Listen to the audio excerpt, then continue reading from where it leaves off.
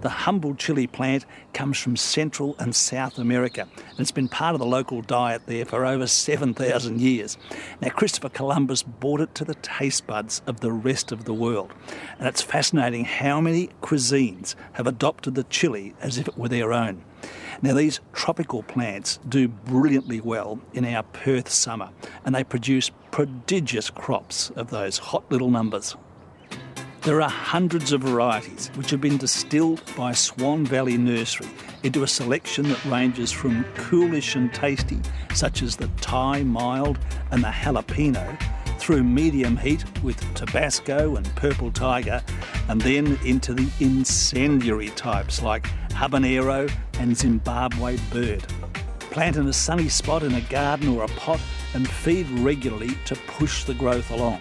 If you're using a liquid fertiliser, once a week isn't too often. Most varieties survive our cool winters to start cropping again the following summer. I reckon that's pretty good value.